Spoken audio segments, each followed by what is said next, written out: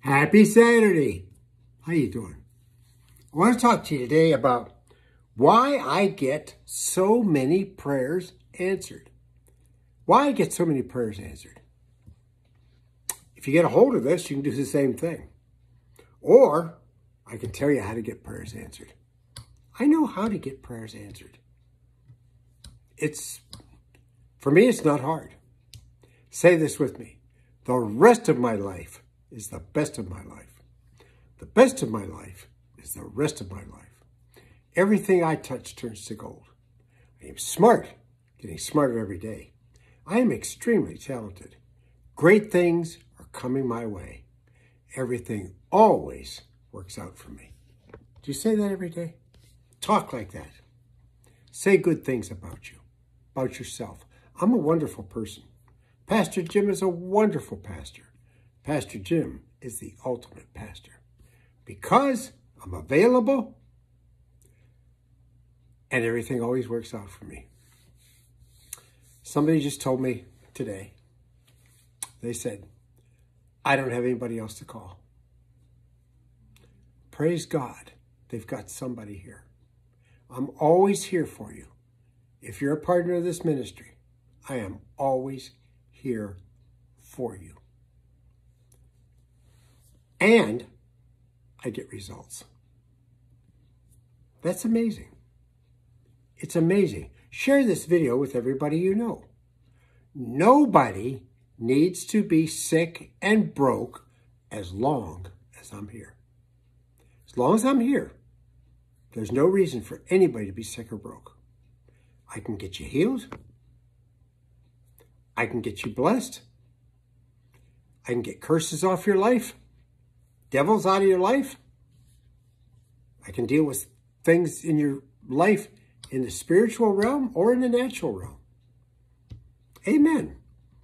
I've just always been able to do this. There's just, uh, there's a, a, was an anointing that came over me three weeks after I got saved. I know God anointed me with spiritual gifts.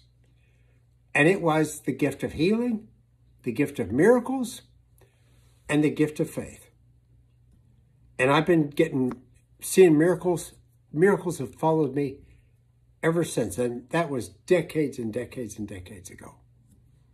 Wherever I go, whoever I talk to, people get healed off their deathbeds. People get prayers answered. Incredible number of people who just get a prayer answered. What is it that you need? What is it that you want? There's a place to call. If you believe that God can do it, I can make it happen for you. Do you know that prayer requires faith? Fact number one.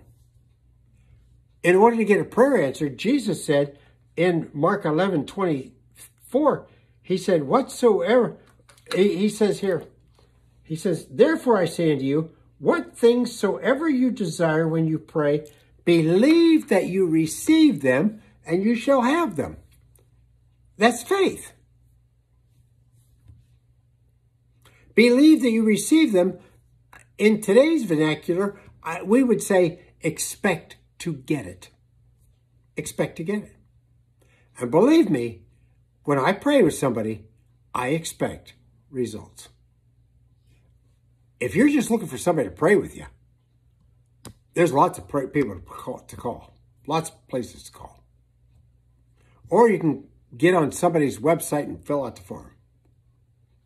But if you want to get answers to those prayers, you really want to get a prayer answered, then you should call me because I can do it.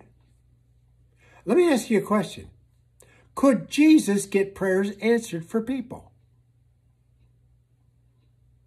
The answer is yes, of course. Well, Jesus said, that which he did, did, we can do also. We should be able to get prayers answered for people. Yet very few people can. But I can. And I do it. I do it the way it, says to do it in the Bible. Hannah. I talk about Hannah and Eli all the time.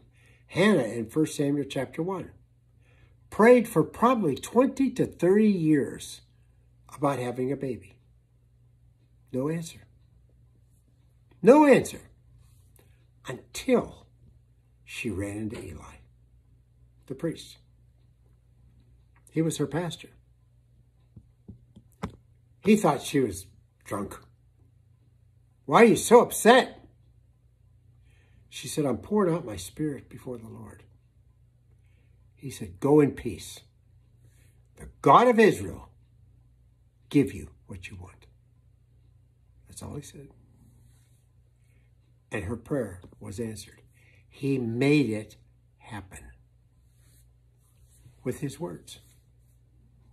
The Bible very clearly says, and what is it? Uh, Job 22, verse 28, I think.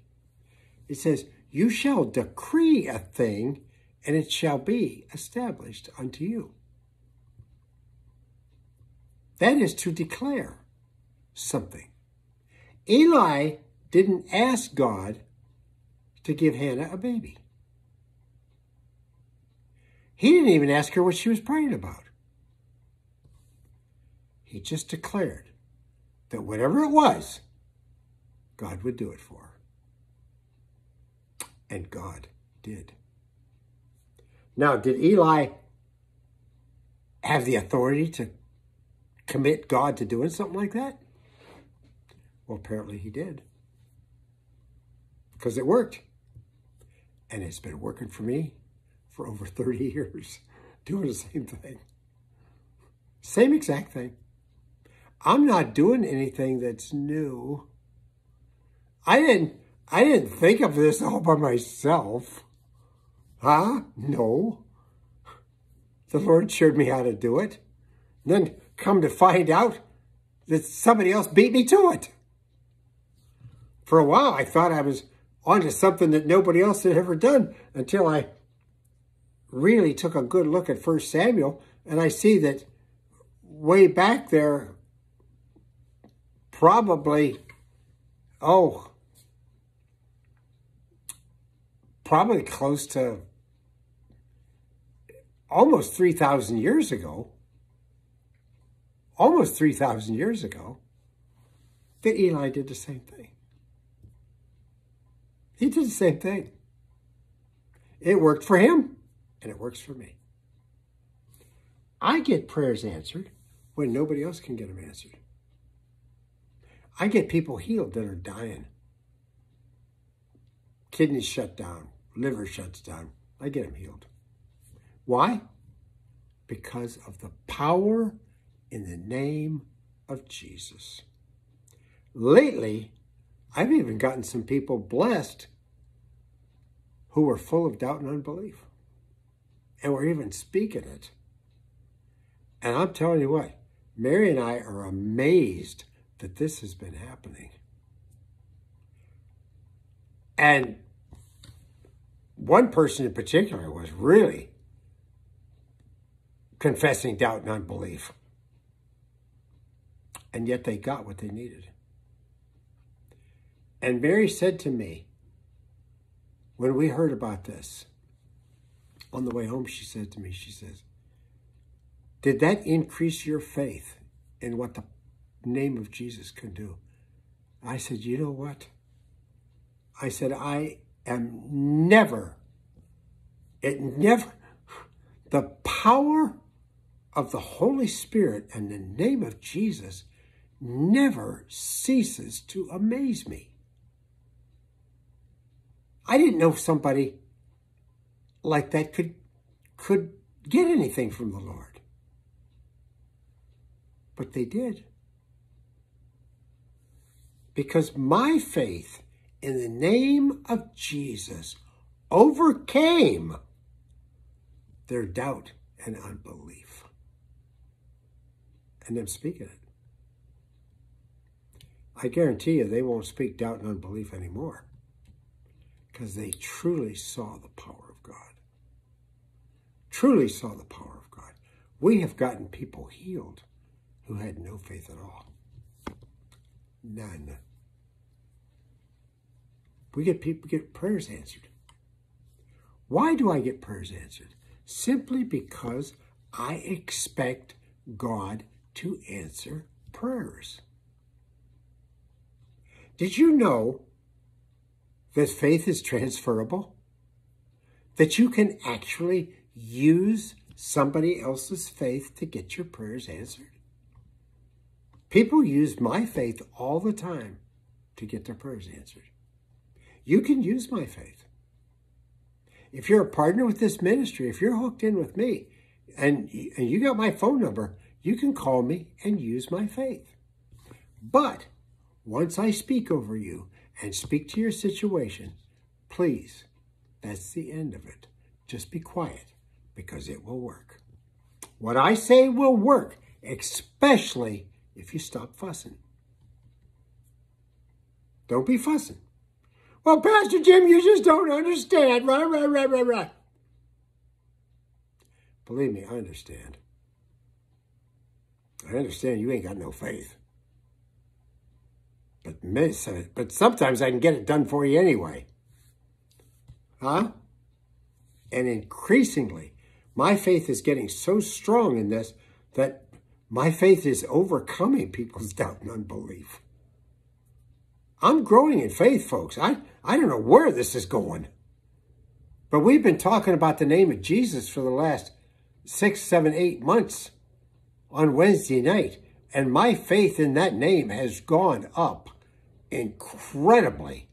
It's gone up to a whole different level. We're seeing stuff now we've never seen before happen. Because my faith in the name of Jesus has gotten so much stronger. There is so much power in that name. And, and I just know when I use that name, what I say is going to happen. And my faith for that has gotten stronger and stronger. I mean, I, I got a call from a from somebody who had their friend call me whose son had been in a horrific motorcycle accident. I've been talking about this. Doctor said he couldn't live, but I declared he would. And he did. Everything in the natural said that boy could not live. But the power in the name of Jesus put life back into him when his body was shattered beyond the capacity to live. That doesn't matter to the Lord. There's so much power in his name. So much power. And when we get a hold of this, when we understand this power, it's an incredible thing. And we can use it to get God's people blessed and to get God's people healed. And that's what I do. I want nobody should be sick. God never God never meant for anybody to be sick. Jesus redeemed us from sickness. He redeemed us from poverty. You're not supposed to be sick and broke. But sometimes it takes the power in the name of Jesus to move you from sickness into health and to move you from poverty into abundance. But the name of Jesus can do it. You call me. I'll prove it to you. I'm always ready. I, I brag about the Lord. Paul bragged about the Lord. He said, I boast. My boast is in the Lord. He said, well, my boast is in the Lord too. And I know there is no impossibilities with God. Let me tell you, folks, whatever it is you're facing, there's no impossibilities. Call me today. Especially call me if you did your offerings and donations this weekend because I want to speak God's blessing over you and use the name of Jesus to activate it. Oh my goodness. Is This is amazing stuff. It is. I'm not the only one that can do this probably, but I'm the only one who's available. So call me. I'll prove to you God's word works.